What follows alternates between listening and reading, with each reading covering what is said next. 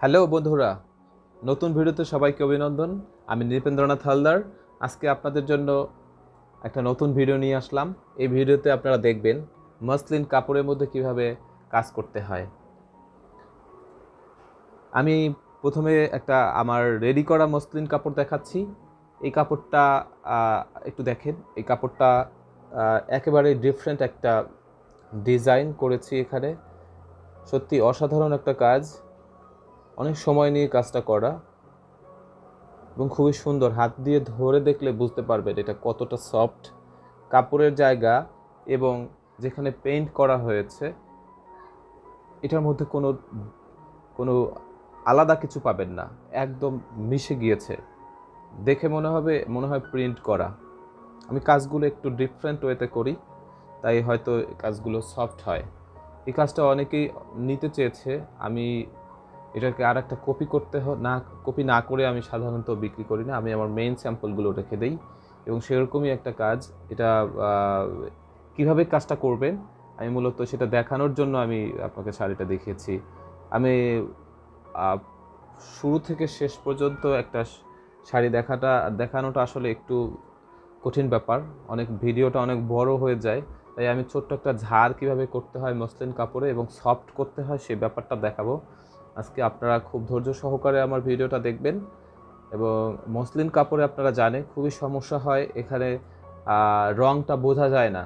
পাতলা করে রং বানালে রংটা আপনার বুঝতে পারবেন না। নিচে কোনো সারফেস না থাকলে, যেহেতু এটা খুবই পাতলা, নিচে কিন্তু একদম ট্রান্সপারেন্ট কাপড়টা। সেজন্য কি হয়, এটা রং দিলে রং দেখা যায় না। তাই আমি নিচে একটা কাগজ দিয়ে নিয়েছি। প্রথমে আমি রং বানিয়ে নিয়েছি। ফুলগুলো একদমই দেখ- যাচ্ছে না, দেখেন। ফুলগুলো আমি করেছি, হয়তো ক্যামেরা আমার হ্যান্ডস নেই কেউ, তাই আমি নিজেই ভিডিও করেছি। ফুলগুলো একদমই হালকা দেখা যাচ্ছে। আপনারা কাজ করতে গেলে এরকম সমস্যায় পড়বেন। ফুলগুলো যদি লাইট রাখতে চান, গাঢ় করতে না চান, সেক্ষেত্রে দেখতে অসুবিধা হয় এবং পর পরবর্তী কাজগুলো করতেও আপনার অসুবিধা হয়। কিন্তু এই অসুবিধা নিয়েই আপনাকে কাজ করতে হবে। আমি দেখেন কীভাবে কাজটা করছি। প্রথমে একটা গাঢ় কালার দিয়ে আমি সেখানে পাতাগুলোকে একটু করে নিচ্ছি। এরপরে আর একটা কালার দিয়ে আমি কিন্তু শেড দিচ্ছি। সব জায়গাগুলোতে কিন্তু আমি কালার দিচ্ছি না। কিছু কিছু জায়গায় কালার দিচ্ছি। সব জায়গায় কালার দিলে আপনাকে চার পাঁচটা আমি সাধারণত পাতাতে চার পাঁচটা কালার ব্যবহার করি। আমি এর আগে দুইটা কালার দিয়েছি, এখন আর একটা কালার দিচ্ছি, তিনটা কালার ব্যবহার করছি। এটা হালকা একটা কালার প্রথমে গাঢ়টা দিয়েছি, তারপরে আরেকটু হালকা, তারপরে আরেকটু হালকা। এভাবে আমি পরে হালকা কালারগুলো পরে দেই। আবার কোথাও কোথাও হালকা কালারটা আগেও দেই, কোথাও কোনো ডিজাইন আসলে ডিপেন্ড করে এটা। কোন কাপড়ে আগে ডার্ক দিব আবার কোন কাপড়ে পরে ডার্ক দিব। হাল, প্রথমে ডার্ক দিলে আপনার রংটা একটু উজ্জ্বল থাকে ভালো। আর যদি প্রথমে হালকাটা দেন, রংটা অনেকটা মরে যাবে। ব্লেন্ডিং হয়ে অন্য অন্য কালারগুলো মরে গিয়ে দেখবেন যে মিশে গিয়েছে। আর গাঢ়টা আমি এজন্য প্রথম দিয়েছি। আমি যাতে পাতার শিরা, উপশিরাগুলো একটু বোঝা যায়, সেজন্য গাঢ়টা আগে দিয়েছি। এরপরেও আবার গালোটা দিতে হবে। সব কালারগুলো দেওয়া শেষ হয়ে গেলে আবার গালো কালারটা আমাকে আরেকটু চিকন তুলি দিয়ে দিতে হবে। এভাবে প্রত্যেকটা পাতা তিন চারটা কালার দিয়ে আমি কাজ করি, শেড ব্যবহার করি। এই আমি যেভাবে কাজটা করি, এটা যে কোনো আর্টিস্ট, যে আর্টিস্ট না, সেও কিন্তু পারবে। কারণ এটা পুরো ডিফারেন্ট একটা প্রসেস এখানে আপনাকে পুরো স্ট্রোক জানতে হবে না এবং একবারেই সব কালারগুলো তুলিতে বানিয়ে বানিয়ে দেওয়ার ঝামেলাটা নাই। আপনি কালারগুলো আগে বানিয়ে নেবেন, গাঢ়, হালকা এবং আরও হালকা এরকম করে কয়েকটা শেড বানাবেন। একই শেড একই গ্রেড রাখতে হবে তা কিন্তু নয়। আপনি একটু অন্যান্য পাতার মধ্যে অন্য অন্য শেডের মধ্যে কিছু কিছু জায়গায় আপনি পিঙ্ক ব্যবহার করতে পারেন কিংবা আপনি ইয়ালো ব্যবহার করতে পারেন। আমি এটা মেহেদি কালারের পাতা করছি।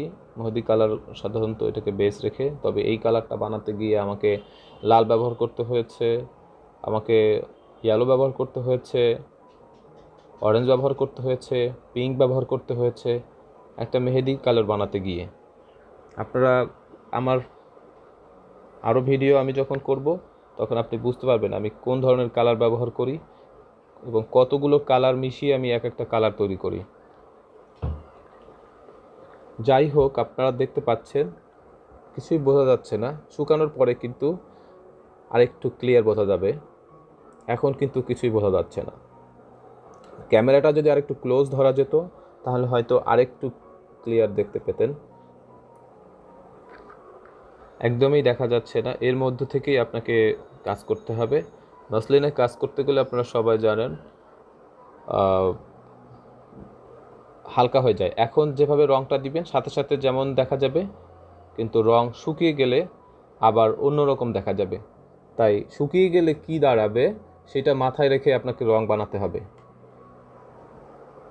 প্রত্যেকটা পাতায় আমি এভাবে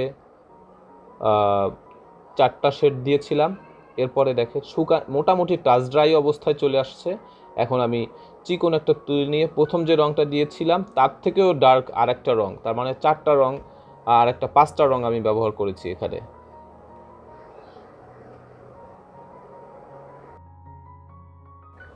আমি আমার সব ডিজাইনগুলোতেই আমি কিছু কিছু আর্টিস্টিক ব্যাপার অ্যাপ্লাই করি। যে কারণে আমার কাজগুলো একটু ডিফারেন্ট মনে হয় এবং এটা আপনারা আমার কাজগুলো দেখলে, আমার ভিডিওগুলো দেখলে আপনারা বুঝে যাবেন কীভাবে আমি এই টেকনিকটা অ্যাপ্লাই করি। যে কোনো কাস্টমার যখন কোনো কিছু দেখেন বা যে কোনো দর্শক যখন কোনো কিছু দেখেন তখন তারা সব কিছু একরকম দেখতে অভ্যস্ত না। কিছু কিছু ব্যাপার আপনি কম দেখেন আর কিছু কিছু ব্যাপার বা কিছু কিছু জায়গা আপনি একটু বেশি প্রমিনেন্ট করবেন। সব জায়গায় প্রমিনেন্ট করলে আর্ট হয় না আর্ট ওয়ার্ক হবে না। যেমন আমি এই জন্য ওই কিছু কিছু পাতা ডার্ক দিয়েছি, আবার দেখেন ওই পাতাগুলোর পিছনে বা কচি পাতাগুলোকে একটু হালকা দিয়েছি এবং ফুলের পিছনের পাতাগুলো আমি আরও হালকা দিব। আরও হালকা দিয়ে তার মধ্যে হালকার মধ্যেও ব্যাকগ্রাউন্ডের পাতাগুলো হালকার মধ্যে আবার শেড দেওয়া যায় এবং আমি কিছু কিছু শেড দিচ্ছিও। দুই, তিনটা কালার দিয়ে হালকা গ্রেডগুলোও দিচ্ছি। ফুলের ক্ষেত্রেও তাই। ফুলগুলো আপনি যখন আঁকবেন, তখন এভাবেই সব ফুলগুলো একরকম ডিটেলও করবেন না, সব ফুলগুলো একই কালার দিয়েও করবেন না। কালারের মধ্যে ভেরিয়েশন রাখবেন। সব ফুলগুলোর মধ্যে কোনো কোনো ফুল একটু হালকা গ্রেডে থাকবে কোনোটা প্রমিনেন্ট দেখা যাবে। এটা করলে তবে ফোকাস পয়েন্ট যেটা সেন্ট্রাল ইন্টারেস্টিং জায়গাটা, ওই জায়গার ফুলটাকে আপনার ডিটেল করবেন এবং ওই পাতাগুলোকে একটু ডিটেল করবেন এবং তার পিছনে যে ছেড়ে দেওয়ার ব্যাপারটা পরে যে হালকা হয়ে যায় পার্সপেক্টিভ এটাকে বলা হয় কালার পার্সপেক্টিভ আমি কালার পার্সপেক্টিভ অ্যাপ্লাই করি আমার প্রত্যেকটা শাড়ির মধ্যে। আপনারা যদি এটা অ্যাপ্লাই করতে পারেন আপনাদের কাজে, তাহলে আপনারা বেশি অ্যাডভান্টেজ পাবেন। কাস্টমার আপনার কাজটাকে একটু ডিফারেন্টভাবে দেখবে এবং তারা পছন্দ করবে আপনার কাজগুলো। এটা আপনার শুরুতেই পাবেন না, যেহেতু আপনি একটা ধারায় কাজ করে আসছেন, সে ওই ধারাটাকেই মানুষ মানুষ পজিটিভলি নিচ্ছে। এটা এটা থেকে আপনি একটু একটু করে আপনি ধারাটাকে পরিবর্তন করবেন। আমার যেমন একটা স্টাইল তৈরি হয়ে গিয়েছে, আমার কাস্টমাররা সবাই জানে যে আমার কাজের ধরনটা কী। সেজন্য আমার কোনো অসুবিধা হয় না, আমি সব কাজে এটা অ্যাপ্লাই করি। কাস্টমারও যখন কোনো ছবি দিয়ে বলে এটার মতো করে দেন, তখনও কিন্তু আমি এটাই করি। তখন আমার মতো করে তার ছবিটা আমি ঠিকই নেই, আমার মতো করে আমি কম্পোজিশন করি। এবং কাজটা যেন দেখতে সুন্দর লাগে। অনেক সময় তার আইডিয়া থেকেও আমি কিছু অ্যাড করি। আমি অ্যাড আমি কিছু অ্যাড করে দিই এবং আমার যে টেকনিক কালার পার্সপেক্টিভ ব্যাপারটাকে আমি পুরোটাই কাপড়ে অ্যাপ্লাই করার চেষ্টা করি। এটা আপনারা যদি করতে পারেন এবং এটা আর্টিস্ট এটা আর্টিস্টরা ছাড়াও আপনারাও পারবেন। জাস্ট কালারগুলোকে হালকা গাঢ় বিভিন্ন গ্রেডে করবেন। যেমন আমার এক একটা মাসলিন কাপড়ের মধ্যে আমি প্রায় পনেরো থেকে বিশটা কালার ইউজ করি। মাসলিন সুতিতেও তাই।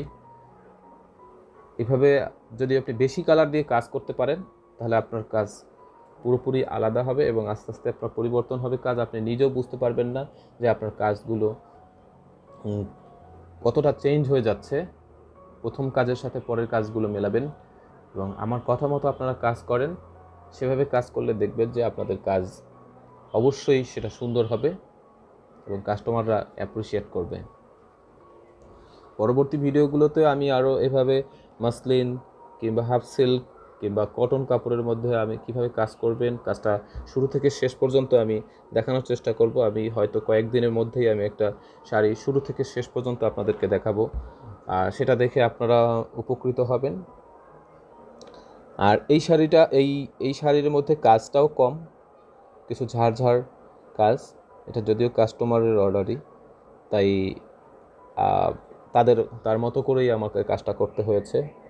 সারা শরীর মানে পুরো শাড়িটাতে চিটা চিটা ফুল আছে, আর আঁচল এবং বুকের জায়গাটাতে ঝাড় রয়েছে।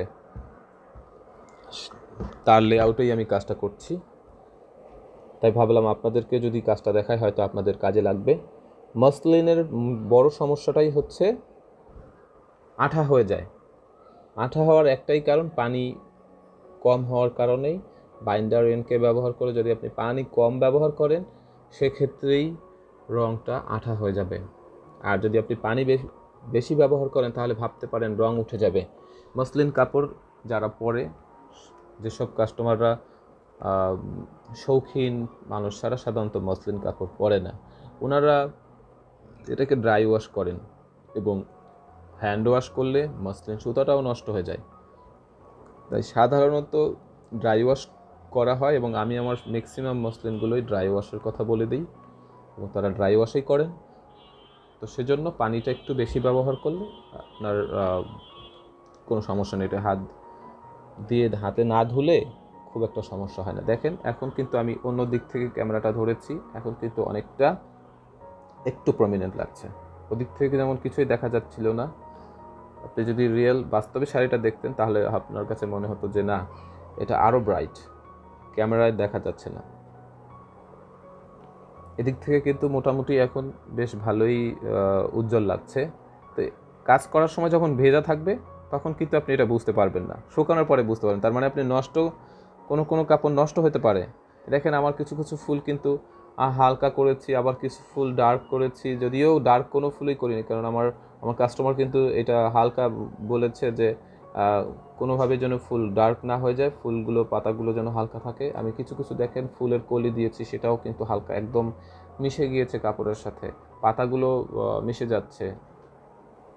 এভাবেই আমি প্রত্যেকটা কাজেই কিন্তু করি। এখন পাতার শুকানোর পরে আরেকটু ফাইনাল শেড দিচ্ছি, পাতার শির শিরা উপশিরাগুলো একটু লাইন দিচ্ছি। এভাবে করে হালকা পাতাগুলোর মধ্যে, হালকা পাতার মধ্যে যে গাঢ় শেডটা সেটা ব্যবহার করবেন এবং গাঢ় পাতার মধ্যে আপনি গাঢ় পাতার শেডটাকে গাঢ় পাতার মধ্যে যে কালারটা সর্বশেষ দিয়েছেন, আপনি সেই কালারটা ব্যবহার করতে পারেন অথবা তার থেকেও একটা শেড ডার্ক কালার দিয়ে আপনি সেটা করতে পারেন। একটা শেড ডার্ক কালার করলে আপনার সেটা হবে কি? সেটা একটু বেশি তাকিয়ে থাকবে। আর যদি যে কালারটা দিয়ে ডার্ক শেডটা দিয়েছেন, সেটা দিলে এটা মোটামুটি একটা মিল থাকে। মানে ওইটার সাথে হঠাৎ করে তাকিয়ে থাকে না। বেশি তাকিয়ে থাকলে আবার খারাপ লাগে। এই ব্যাপারগুলো আপনারা জানেন না অনেকেই, তাই হয়তো আপনাদের কাজের সমস্যা হয় এবং স্ট্রোক দেখা যায়, তুলির টানটা দেখা যায়। যেহেতু আপনারা আর্টিস্ট না, অনেকেই আছেন আর্টিস্ট না। আপনাদের হার্ড হয়ে যেতে পারে এবং আপনাদের সমস্যা হতে পারে। একটা, সেটা হচ্ছে আপনারা আপনার তুলির নিটনেস ভালো হয় না আপনাদের। আপনারা যেহেতু আর্টিস্ট না, এ সমস্যাটা হওয়াটাই স্বাভাবিক। আপনারা তো এখনও শেখেননি। আমার কাছ থেকে যতটুকু সম্ভব আপনি আইডিয়া নেন, দেখবেন এই ধরনের সমস্যা আপনার কম হবে। আশা করি কিছুটা হলেও আমি আপনাদেরকে সহযোগিতা করতে পারব। হ্যান্ড পেইন্ট কাজ করতে আপনাদের যত ধরনের সমস্যা পড়বেন সব সমস্যাগুলো নিয়ে আমি ভিডিও তৈরি করব এবং আমি জানি আপনাদের কোন কোন সমস্যা হবে। সেই সমস্যাগুলো প্রত্যেকটাই আমি ধরে ধরে আপলোড করব, তার উপর ভিডিও তৈরি করব এবং তুলির নিটনেসের কথা বলেছিলাম। তুলির নিটনেসটা একটা পুরোপুরি আলাদা বিষয়। এইটা প্র্যাকটিস ছাড়া কখনোই সম্ভব না। আপনি বেশি, দীর্ঘদিন তুলি, তুলিটাকে প্র্যাকটিস করতে হবে। তুলি দিয়ে আপনাকে ফ্রি হ্যান্ড আঁকার চেষ্টা করতে হবে। পাতার শিরা উপশিরাগুলোকে প্র্যাকটিস করতে হবে। সাদা কাপড়ের মধ্যে অথবা সাদা কাগজের মধ্যে আপনি প্র্যাকটিস করবেন। চিকন তুলি দিয়ে, মোটা তুলি দিয়ে কাজ করবেন। সেক্ষেত্রে আপনার এটার জন্য আপনি কিন্তু নিজেকে ইমপ্রুভ করতে পারবেন। এখন দেখেন ফুলগুলো দেখা যাচ্ছিল না, তাই ফুলগুলোকে কিন্তু আমি একটু ফুলের কালারগুলো একটু আমি বেগুনি টাইপের একটা পার্পল টাইপের এটা ফুল। আর পার্পেলও না ঠিক, এটা আসলে পার্পেল আর হচ্ছে ম্যাজেন্টা মেলানো। এই ফুল এই ফুলটা আর একটা ফুল হচ্ছে পিঙ্ক কালারের পিঙ্ক বলতে বেবি পিঙ্ক আমার কাস্টমার উনি চেয়েছেন বেবি পিঙ্কের মধ্যে। এটা সাধারণত আমি ম্যাজেন্টা দিয়ে ম্যাজেন্টা এবং আর একটা ফ্লোরোসেন্ট পিঙ্ক দিয়ে এই কালারটা বানিয়েছি। এটার কয়েক, আমি পাঁচটা কালার বানিয়েছিলাম। একটা ফুল করার জন্য। দেখেন ফুলটা কিন্তু খুবই হালকা, কিন্তু এখানে পাঁচটা কালার ব্যবহার করা হয়েছে। এবং এমনকি এখানে আমি পানি ব্যবহার করেছি বাইন্ডার পানিও ব্যবহার করেছি আরও লাইট করার জন্য। এখানে দেখেন কিছু কিছু জায়গায় আমি শেড পারফেক্ট মনে হচ্ছে না, তাই আমি আবারও শেড দিচ্ছি, তারপরও কিন্তু আমার এটা হার্ড হবে না। ধরলে বুঝতে পারবেন না যে এখানে কাজ করা হয়েছে। এতটাই সফট হবে আমার কাজগুলো। তা বেশি পানি ব্যবহার করবেন। আমি সাধারণত বলেছি আপনাদের সুতি কাপড়ের রং ছড়িয়ে যায়।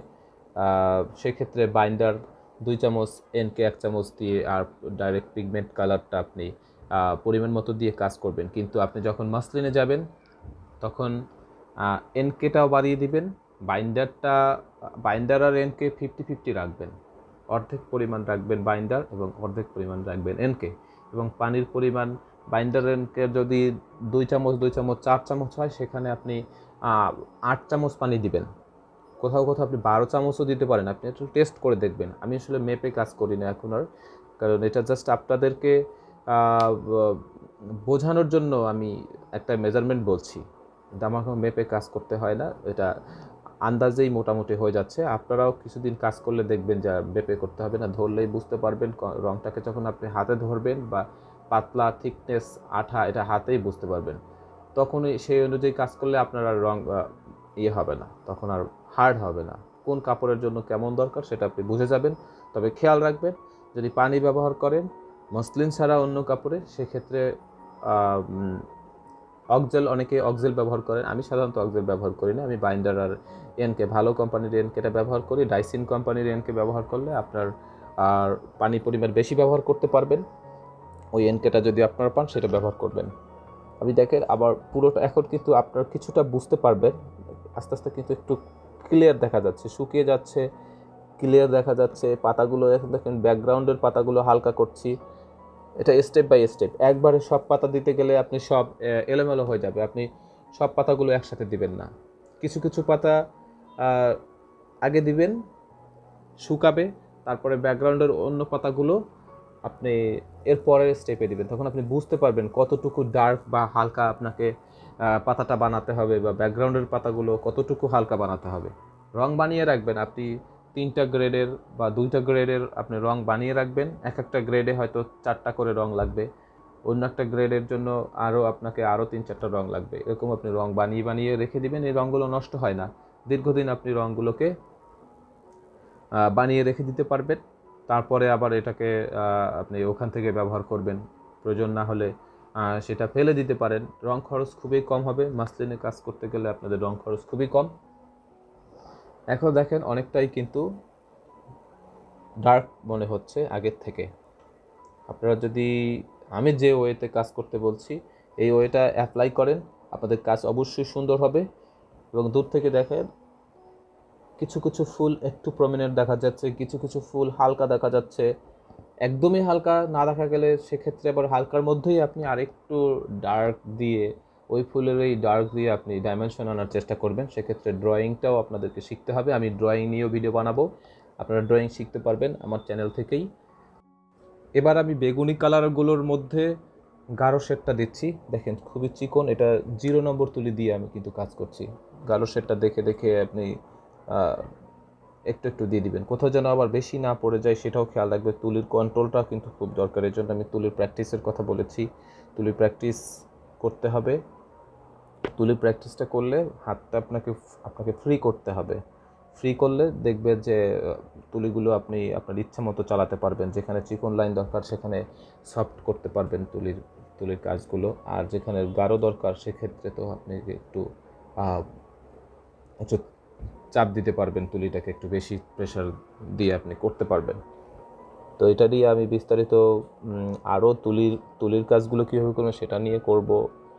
রং আরও বানাবেন কীভাবে, সুন্দর সুন্দর রং বানাতে পারবেন কীভাবে, সে ব্যাপারে আমি হেল্প করব এবং বিভিন্ন কাপড়ে, যেমন সুতি কাপড়ে আমি কাজ করে আমি দেখাবো এবং হাফ সিল্কে কাজ করে দেখাবো এবং মসলিনে একটা এ টু জেড মানে শুরু থেকে শেষ পর্যন্ত কাজ করার, কীভাবে কাজ করতে হয় সেটা আমি এর পরের ভিডিওতে দিব।